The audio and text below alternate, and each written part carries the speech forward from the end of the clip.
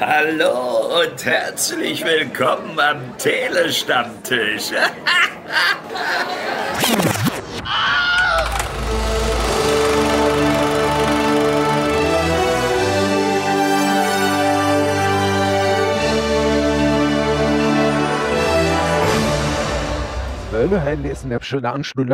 Hallo und herzlich willkommen zur Besprechung von Der Exorzist Bekenntnis, der seit dem 5. Oktober in deutschen Kinos läuft. Der neue Film von David Gordon Green, der sich ja verdient gemacht hat zuvor mit der neuen Halloween-Trilogie, die ja nicht ganz so beliebt ist und eben auch den Exorzisten nochmal als Legacy-Sequel in die Kinos bringt.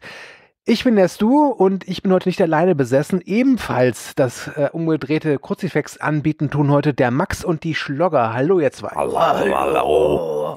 Oh komm, der war jetzt aber abgesprochen. Man muss mir ein bisschen lauter machen. Der ist so vorhersehbar wie der Film vielleicht? Ja, okay. nee, der Film, der war. Ich liebe so es, wenn das Fazit schon in der ersten Minute Unglaublich. Das ist immer am besten. Ich habe ein vielleicht angehangen. voll, man weiß ja, soll ich, soll ich euch mal erzählen, um was es in dem Film geht? Wartet noch ein ja. bisschen. Ich, ich, ich möchte gerne noch ein paar Sachen äh, von euch wissen, weil es ja wirklich ein, ja, basiert ja auf einem sehr erfolgreichen Horrorfilm. Ich würde fast schon sagen, einem Franchise. Das ist, glaube ich, der fünfte oder sechste Film, je nachdem, wie man die letzten beiden Prequels zählt. Exorzist ist immer ein großer Name. Deswegen meine Frage, wie steht ihr denn zum Exorzisten-Genre und vor allem zum Originalfilm von 1973? Und weil ich ich mir ungefähr vorstellen kann, wie Schloggers Antwort ausfällt, fange ich mal mit dir, mit dir an, Max. Oh ja, eins und also eins ist der Klassiker, ist der der Urvater des Horrorfilms, würde ich sagen, und ähm, dann Teil 3 mochte ich auch noch sehr gern. Das ist ja der, äh, der Teil mit dem vielleicht berühmtesten Jumpscare aller Zeiten oder dem Urvater mhm. des Jumpscare weiß nicht, wie man das bezeichnet. Hast du deinen Urvätern immer? Ja, keine Ahnung. Ist halt so ein Exorzistending, ne? So, die Katholiken und ihre Urväter. Das ist. Und die anderen kenne ich gar nicht, glaube ich zwei vielleicht mal gesehen, so keine Ahnung, im Abendprogramm von RTL 2, zu Zeiten als noch, wie hießen die, die Sexy Sports Clips auch noch liefen, so als Konkurrenzprogramm. Geile Exorzisten verwöhne ich live auf der Line, ja. nee. ähm, Geile also, Exorzisten lutschen Schwänze in der, oh, keine Ahnung. Also ich würde sagen, ich glaube, man kommt ja auch gar nicht dran vorbei, dass man den Exorzisten, das ist so eine, die, die, die, so eine schöne Melange aus Katholiken und Dämonen und und ähm, alles böse. Ja, alles Ding und dann schön Nebel und New York lieben wir. Ist es überhaupt New York? Ich glaube schon. Ja, ich habe natürlich alle Filme gesehen, mehrfach und sie zählen zu meinen absoluten Lieblingsfilmen. Die Poster hängen über meinem Bett und ich schlafe. Auch über das Bett ein. deiner Kinder. Oder? Ist das die Antwort, die du äh, gedacht hast, dass von mir kommt? Nein. Also, genau, ich dachte noch, dass du sowas sagst wie zu der Titelmelodie von Exorzist gehe ich immer einschlafen. Ja, genau. Und ich habe me meine Kinder auch nach äh, den besessenen Kindern benannt. Satan, Herodes, die mir jetzt auch einfallen, Lucifer, weil ich die Filme Schlocker. schon so oft gesehen habe. also, ich habe ich glaube, ich habe den ersten vor Jahrtausenden mal gesehen, kann mich aber nicht wirklich dran erinnern. Und das war, glaube ich, auch schon meine Antwort dazu.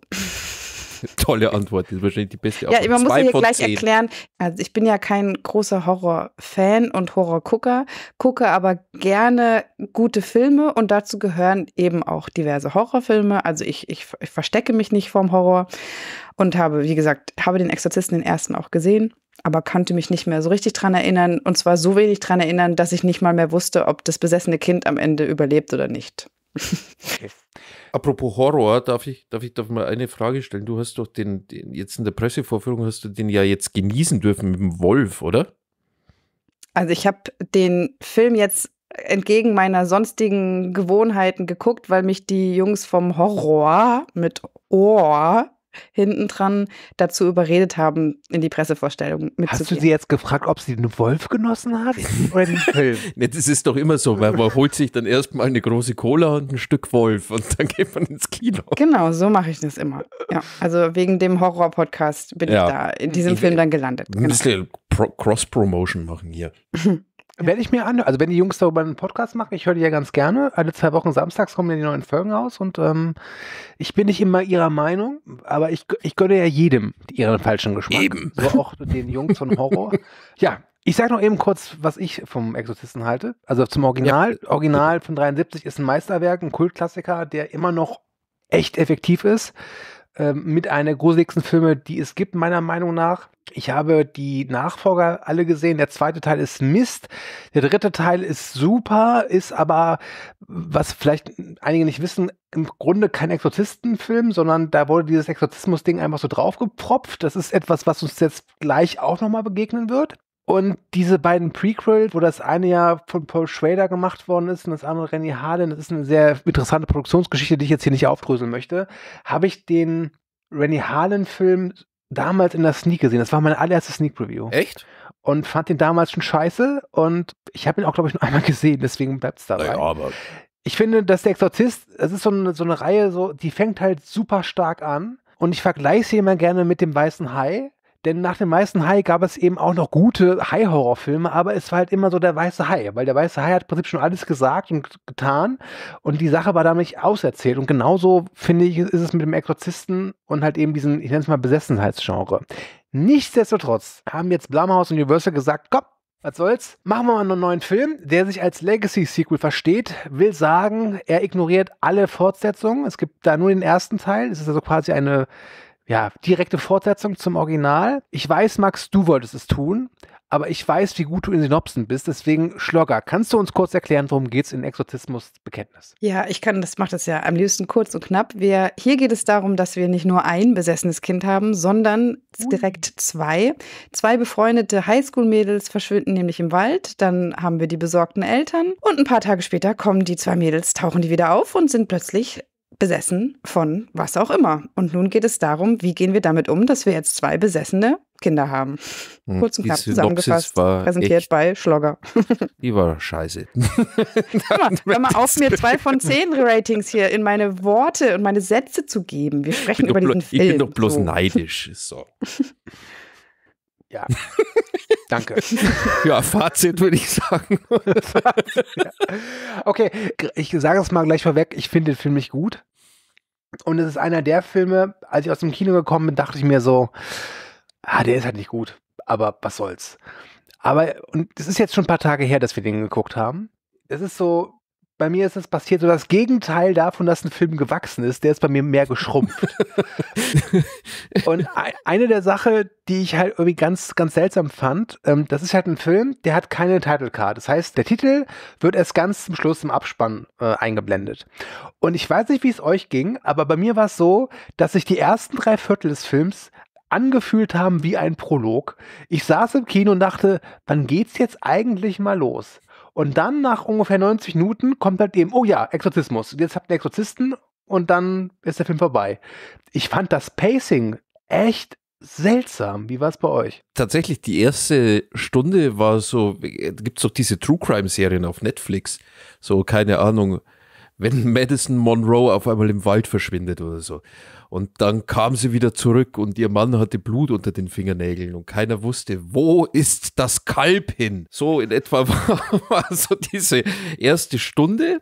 Und dann äh, kamen halt die katholischen Avengers plus der Voodoo-Frau und haben dann mehr oder weniger so Halali zum, zum Exorzismus geblasen, was irgendwie tatsächlich, also wenn der Film, wenn ich nicht gewusst hätte, wenn ich, da, wenn das jetzt eine Sneak Preview gewesen wäre, wobei, man hat ja schon ein bisschen Vorahnung, aber angenommen, ist eine Sneak Preview, du hast vorher noch nie irgendwas von Exorzismusfilmen gesehen oder gehört, dann weiß ich nicht, ob's, ob man da überhaupt gewusst hätte, was da gerade überhaupt passiert oder was für eine Art von Film das jetzt sein will. Ich beziehe mich tatsächlich auf will, nicht auf sein soll, denn ich glaube, in diesem Film steckt mehr Kalkül, was in die Hose gegangen ist, als man glauben mag. Also ein Kalkül. Ja.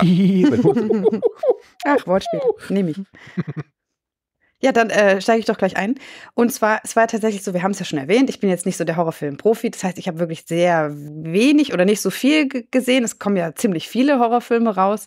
Und ich dachte auch so, ach, so sind die Horrorfilme heutzutage. Das ist ja eigentlich ein Drama. So fing der Film ja so an. Das ist wirklich, das ist ja ganz harmlos, wie schön. Und ich glaube, das ist ein ganz schlechtes Zeichen, dass ich den wirklich auch nicht so gruselig fand.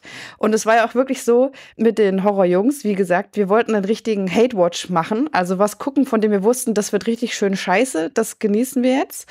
Und dafür war der Film, nicht mal das konnte er, weil irgendwie war er nicht so schlecht. Also er war filmisch gesehen irgendwie okay, aber einfach völlig belanglos. Und äh, dieser Anfang war eben wirklich, dass ich dachte, ach, das ist aber nett vom Film, dass er mir zuliebe so harmlos jetzt ist. Das ist ja schön. Ja, da habe ich den Filmgöttern, vielleicht bin ich schuld. Das war ja schon die Theorie, dass dieser Film so lahm ist, damit ich den Film genießen konnte. Genießen in 500 Anführungsstrichen. Aber was ich halt wirklich, wirklich fast schon kurios finde, du hast das Original, das 50 Jahre alt wird dieses Jahr. Und das Original ist nicht nur in Sachen Intensität, sondern auch in Provokation dem neuen Teil, diesem Legacy-Sequel, um Meilen überlegen. Was früher halt wirklich ist, also du hattest 73, das kann man sich gar nicht vorstellen, mhm. gibt es diese Szene, wo diese kleine Reagan sich das Kreuz zwischen die Beine haut, der Kopf wird von ihr verdreht, sie kotzt, sie, sie beschimpft Leute. Es gibt diesen wunderschönen, legendären, äh, sehr poetischen Satz, deine Mutter lutscht Schwänze in der Hölle. Und in äh, Bekenntnis gibt es das eigentlich fast gar nicht. Also da ist das höchste, also da hört sich Provokation ungefähr so an, deine Mutter macht unflätige Sachen im Totenreich. Könnten Sie bitte sagen, sie soll damit aufhören? Deine Mutter hat schon mal einen Pimmel angefasst. Uh. ja, wenn sie wenigstens ein Pimmel wäre. Ich möchte, dass wir den Film neu synchronisieren. Ja, aber da es ist ja wirklich so, dass eine schlimme, eine schlimme Zeile in dem Film sein soll, dass ein Kind äh, ein bisschen blutig durch eine Kirche läuft und ruft Körper und Blut, Körper und Blut, Körper und Blut oder wie auch immer, wie es dann auf, wir haben Ey, den ja auf Englisch ganz gehört ehrlich, und das soll dann gruselig sein. Ja, Body and Blood, genau. Ganz ehrlich, das war mit einer der, der, der herbsten Enttäuschungen, weil diese Szene mit diesem Mädel, die besessen ist, die ist ja schon auf dem Poster drauf. Also die ist relativ prominent, mit der wird der Film auch beworben. Und das ist ja an und für sich auch eine prima Ausgangslage. Du hast ein besessenes Mädchen, das mit in der Kirche steht, umgeben von Spießern und denkst dir, okay, lass mal, komm, und jetzt gib mal. Und das Einzige, was passiert, ist, dass das Mädel da irgendwie äh, diese, diese, das Kreuz halt anbellt, immer Body and the Blood, Body and the Blood und da, das war's. Und da muss ich wirklich sagen, da also muss man sich eine Bibel zwischen die Beine schieben. Ja, mach was ich. Ähm, also entweder haben sie halt wirklich äh, was so krasses gedreht, dass sie gesagt haben, nein, das können wir den Zuschauern nicht zumuten, was ich nicht glaube. Oder aber sie hatten einfach keine bessere Idee. Nee, der Film ist wie so Finanzbeamter tatsächlich. So wie sich Leute im Finanzministerium äh, wahrscheinlich. Das ist Peter Zwegert. Ja, ich glaube, Peter, Peter Zwegert hat das Drehbuch geschrieben für den Film tatsächlich. Der ist ein bisschen so, keine Ahnung, auf dem Whiteboard vor vier Ursels. keine Ahnung. Und also haben dann um halb vier Fall Feierabend gemacht. So. Ach, also ich habe mir bei diesem Film, ich musste mir nur dreimal die Augen zuhalten und das ist schon ein bisschen lächerlich. Und also die eine, ja. eine Szene, wo ich mir die Augen zuhalten musste, die war wirklich, glaube ich, gut. Das ist mit, ähm, wie heißt denn die Frau aus dem Originalfilm? Die sieht man ja auch im Trailer. Das ist die Ellen Burstyn als Chris McNeil. Genau, die Mutter. Der passiert ja was und das fand ich, glaube ich, ganz okay. Da habe ich weggeguckt. Das war, das also, war gut. da, hat, da ja, hast nicht nur du weggeguckt, ja sondern auch sie. Wobei, da muss ich auch klar sagen, ich fand es ziemlich unwürdig, wie sie mit der Figur umgesprungen sind. Hm. Diese, diese, ich fand das unnötig. Diese Figur, tatsächlich, weißt du, was das Krasse an diesem Film an sich war? Also, da kann, der, es gibt ja dann so diese Stelle, wo sie die, diese gute Frau aufgrund ihrer Vorgeschichte dann äh, ja, äh, besuchen und die wird dann eingeführt in diesen Film. Und im Prinzip, der Film hätte erstens mal ohne sie genauso funktioniert und äh, die, hätte gar nicht auftreten brauchen. Ich meine, der ganze Film, der hätte nicht der Exorzist irgendwas heißen müssen. Absolut. hätte man also, auch zwei Mädchen im Wald. Ganzen, ja, du hättest diesen ganzen Unter- oder Überbau zum Original entfernen ja. können. Hättest du zum einen einen wesentlich strafferen Film gehabt und zum anderen hätte, also weil durch diesen Namen alleine hast du eine gewisse Erwartung. Ich meine, allgemein, wenn du einen Film, einen Horrorfilm zum Thema Exorzismus bringst, hast du immer das Original von 73, was so wie so ein Damoklesschwert mhm. über dir schwebt. Ja. Das ist ganz normal. Und dann mag, gehen die hin und, und, und nehmen nochmal und sagen, nee, das ist übrigens ein Legacy-Sequel zum Original. Und dann kriegen die es nicht gebacken, das auch richtig zu nutzen. Das ist, also dieses ganze, dieser ganze Unterbau ist unnötig zieht den Film nur in die Länge und bringt wirklich gar nichts. Ich finde, damit haben sie sich keinen Gefallen. Ich, ich ja, was ich gehört habe, genau, dass die, das ist doch eigentlich fast genau der Exorzist, das Original, nur nochmal gedreht und in, in schlecht. Ja, also in, das ist ja nicht mal mit, irgendwas Neues. Und, in, und man macht zwei more Mädels. the same. Genau, zwei, zwei Mädels. Mädels. Ja. Nee, also so vom. Ja, aber ja. ganz ehrlich, äh, bei, bei, Entschuldigung, bei dem Original hast du ja, da wird ja eine ganze Zeit lang dieses Zimmer auch gar nicht verlassen. Das ist ja viel intimer und auch viel, ich habe ja schon hm. gesagt, äh, intensiver und auch provokativer. Ne? Ja, ja, ähm, besser, es, genau. Es gibt es gibt eine Szene, die ich gut fand. Das, es gibt eine Figur, das ist ähm, gespielt von Anne Dowd, eine Krankenschwester. Anne Dowd kennt man unter anderem äh, aus Hereditary, der ist sie äh, die eine, die Toni Collette in diesen Kult mit reinbringt, wo ihr der Dämon äh, etwas zeigt und man sieht ein blutiges Laken, mhm. muss man so ausdrücken. Das ist eine gute Szene, wie ich finde.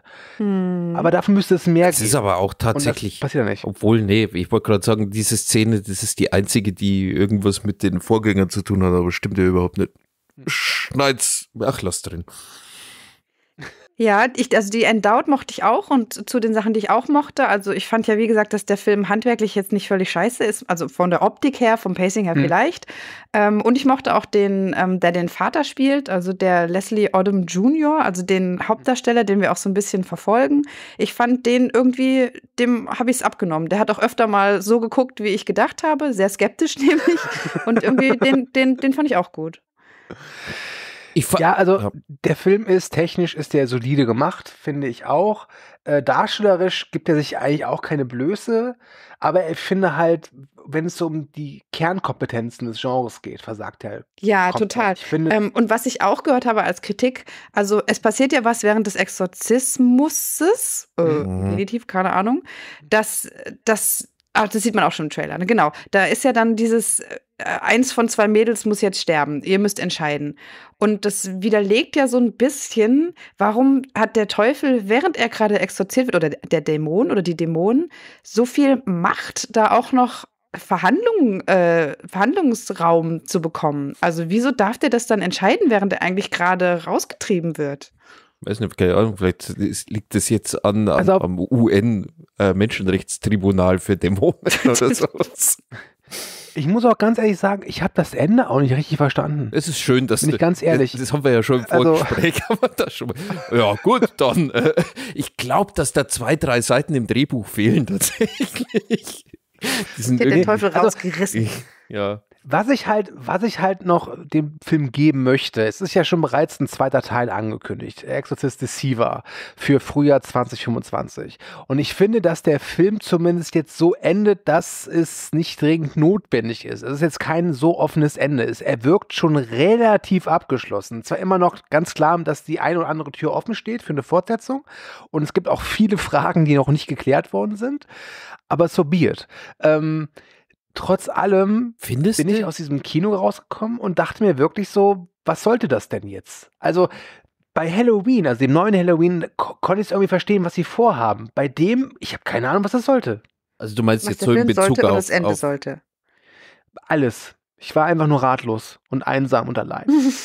ja, also was ich so höre, was wirklich klingt, als wäre euer Argument, dass das Exorzisten, äh, dieser Deckel, dass der einfach dem auch weglassen könnte, das finde ich so bezeichnend. Das passt wirklich zu, dem, zu der ganzen Kritik hier. Und das Ende habe ich aus meiner Sicht schon verstanden.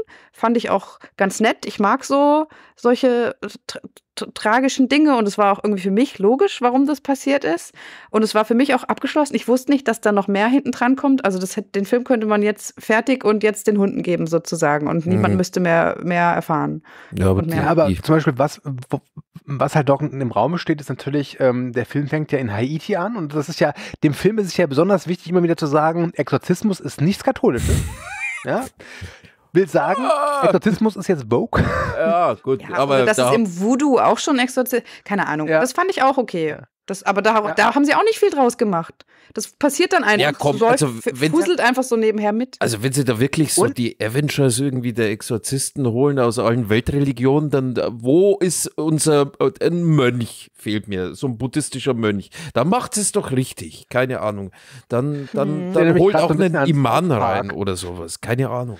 Aber kennt, kennt ihr die super besten Freunde von South Park? Ja. nee. Mit Jesus, der mit seinen Zimmermannsfähigkeiten glänzen kann. Aber das klingt gut.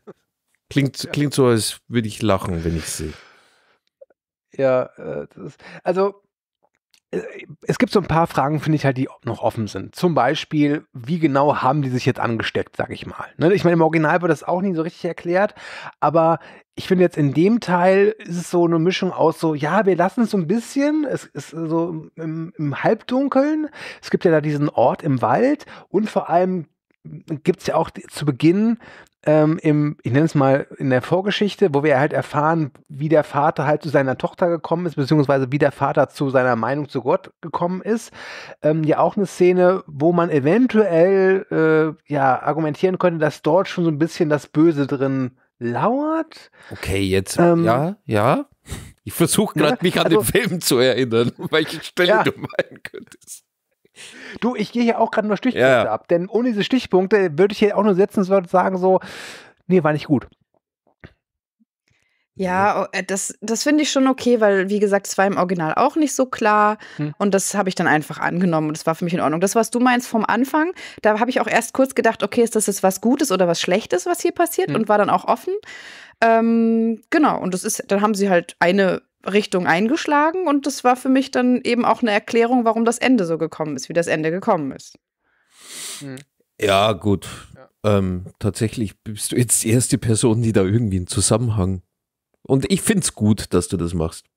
Denn es macht sogar ein bisschen Sinn. Ja.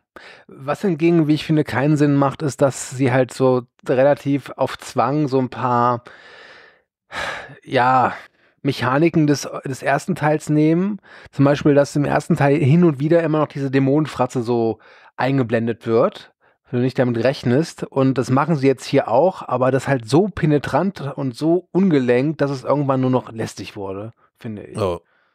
Wobei man auch sagen muss, ähm, hätten sie es vernünftig gemacht oder vernünftig durchgezogen, dann hätte das schon durchaus Potenzial gehabt, zumindest auf bildlicher Ebene, Hm. dämonisch und böse zu wirken. Das ist ja der große, das ist mein großer Kritikpunkt. Das ist, dass, dass so ein Film ja eigentlich böse wirken muss. Weißt du?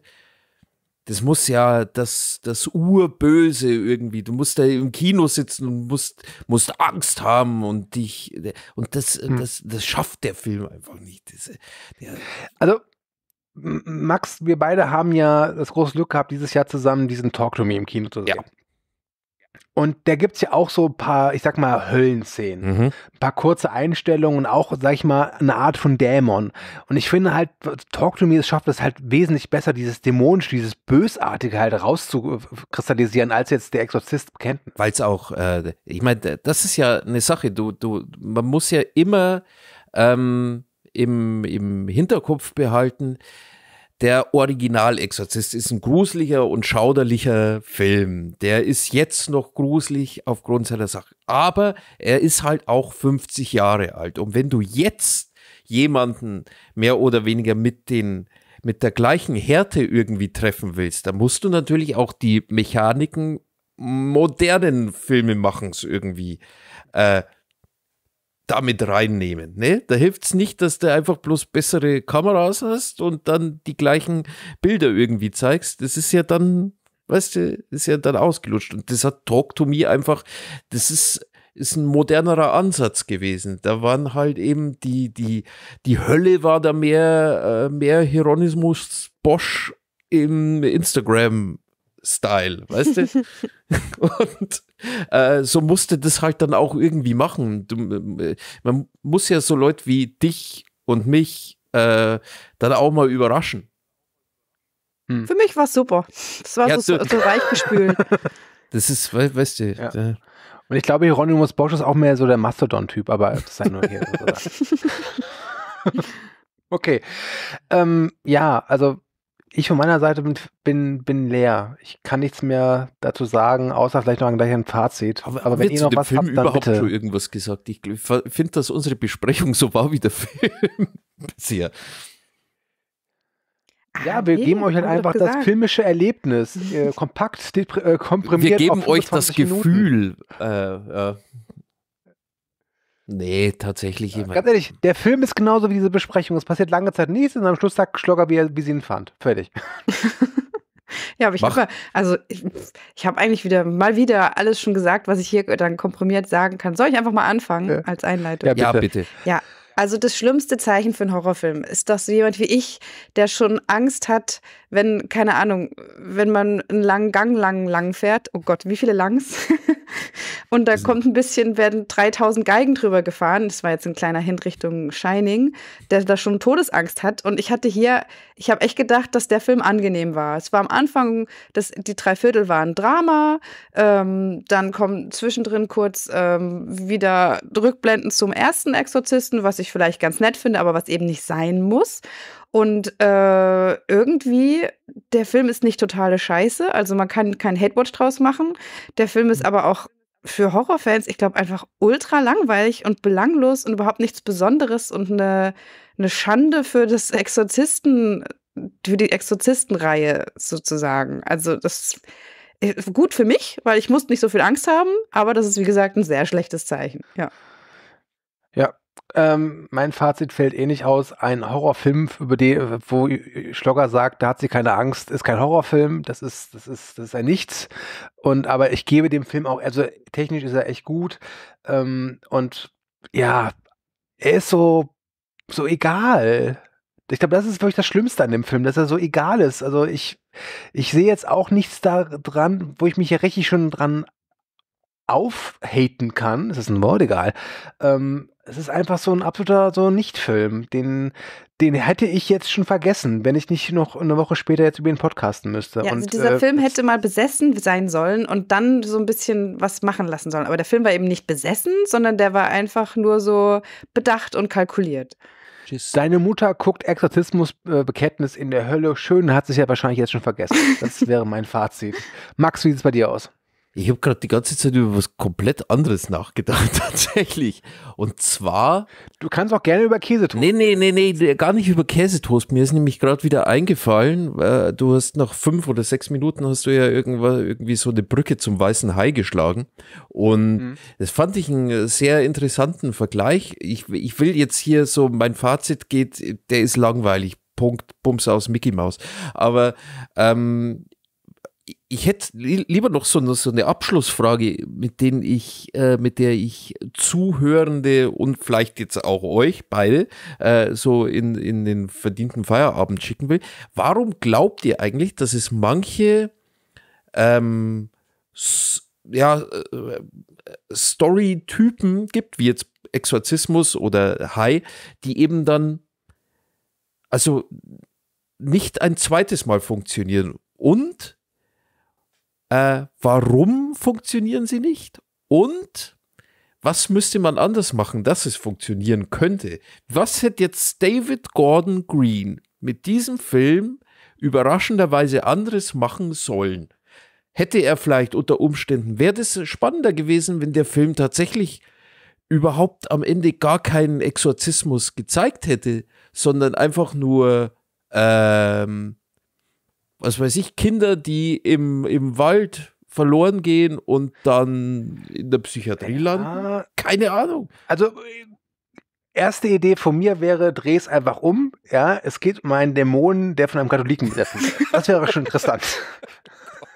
Das ist dann Story of my life, oder was? ja, genau. Und ähm, ich glaube einfach, dass jetzt der Exorzist und der weiße Hai äh, hatten in Anführungszeichen vielleicht Glück oder waren auch einfach so gut da, und sie kamen zur perfekten Zeit. Ich ja, glaube, das könnte es gewesen aber, sein. Aber ist es nicht irgendwie bezeichnet? Da kommen dann immer irgendwelche. Das ist ja, ist ja gerade bei Exorzismusfilmen ist es so, dass da eigentlich bloß Müll produziert wird. Also ich meine, ich kenne natürlich jetzt nicht alle Exorzistenfilme, aber so. Also man muss auch vielleicht sagen, es gibt ja auch äh, wirklich gute Filme, die jetzt nicht so im, im Genre des Horrorfilms beheimatet sind. Ja. Also der Requiem von ja, ja. Christian Schmidt, Gut. ne, der, ne, das sollte man da ausdampfen. Aber äh, tatsächlich finde ich es gar nicht so schlecht, dass du sowas hier nennst, weil vielleicht ist das tatsächlich die Rettung des Exorzismus Horrorfilms, weil ist ein Exorzismus an sich nicht eh immer irgendwie mit mit Horror verbunden? Von dem her. Ich weiß es nicht. Äh, du wohnst in München, hast jetzt äh, vier Wochen die Du, keine Ahnung, ich habe hab also am Sonntag Landtagswahl. Da freue ich mich schon drauf. Leck mich am Arsch. Ob ich da überhaupt noch auf die Straße darf, ohne ausgepeitscht zu werden, das weiß ich nicht. Mal schauen. Okay. Also, pass auf. Ähm, ich glaube, wir haben jetzt äh, gut auf den Punkt, also nicht auf den Punkt gebracht, aber gut zumindest äh, ausgedehnt gesagt, dass wir alle drei eher enttäuscht von dem Film sind, sagen aber auch, es ist kein Unfilm, es ist kein schrecklicher Doch, Film. Doch, ich will, ich, ich, will, ich will Unfilm sagen. Also das, was du meintest, er ist geschrumpft, das unterstreiche ich zweimal. es gibt wenige Filme, die nach einer Woche irgendwie, er ist mir egal, aber er hat mich aufgeregt gleichzeitig. Das ist wie mein Chef. Ja, also, geschrumpft hat mich aufgeregt. Das würde mich eher, erinnert mich an was anderes. Aber das gehört hier nicht. also ich will nur kurz sagen, dass ich, dass ich Max Fragen natürlich sehr interessant finde, aber wenn wir dieses Fass hier aufmachen, dann wird die Besprechung hier noch 100 ja, Stunden. Du willst lang. ja bloß ins Bett. Nee, ich will, ja, äh, auch, ähm, ja. damit ich meine Exorzistenposter endlich wieder angucken. Und dann Aber ich finde die Frage sehr spannend und möchte die hier nicht anreißen, weil ich dann viel länger darüber diskutieren möchte. Und über jetzt zu Stu's äh, ab Outro, damit wir da wieder zurückkommen. Wir haben jetzt wirklich gesagt, wir, wir waren nicht enttäuscht. Ich war gar nicht enttäuscht, ich war ja froh, weil ich war nicht gegruselt.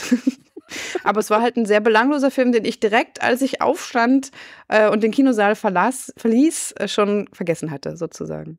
Ja. Hm. Vielen Dank, ihr da draußen, fürs Zuhören zu unserer Besprechung von äh, äh, äh, äh, äh, Oh Gott. Vielen Dank für nochmal. Damit sind wir jetzt endgültig durch. Vielen Dank, dass ihr zugehört habt. Ähm, denkt dran, Telestammtisch gibt es überall, wo es Likes gibt. Ich sage Tschüss, dann sagt der Max Tschüss und das bitte schnell und dem Schlogger gebührt das letzte Wort. Tschüss. Deine Mutter lutscht Likes in der Hölle. Ich darf am Ende noch kurz Werbung dranhängen. Und zwar, Johanna Baumann ist mein Name und Schlogger ist mein Künstlername. Ihr findet meine Sachen auf schlogger.de, im Schlogger-Shop oder auf Social Media unter The Schlogger, wie, das Englisch, wie der englische Artikel. Und zwar auf Twitter, beziehungsweise X, oh Gott, ich werde mich nie dran gewöhnen, Instagram und Facebook und auch unter dem Namen Schlogger auf Blue Sky. Danke fürs Zuhören und wir hören uns bei der nächsten Besprechung. Sehr geehrte Damen und Herren, wertes Publikum, liebe Hörende, vielen Dank für eure Aufmerksamkeit und Zeit. Ich hoffe sehr, euch hat gefallen, was ihr gerade gehört habt. Wir, die Redaktion des Telestammtisch, betreiben ein semi-professionelles Podcast-Projekt zum Selbstmitmachen. Also meldet euch bei uns, wir beißen auf. Außerdem freuen wir uns immer über Feedback via Social Media und E-Mail sowie euren finanziellen Support. Ebenso frohlocken wir förmlich über Bewertungen auf den gängigen Podcast-Plattformen. Wer möchte, darf uns gern immer und überall empfehlen. Alle relevanten Links findet ihr in den Show Notes. Vielen Dank und bis zum nächsten Mal. Euer Andi.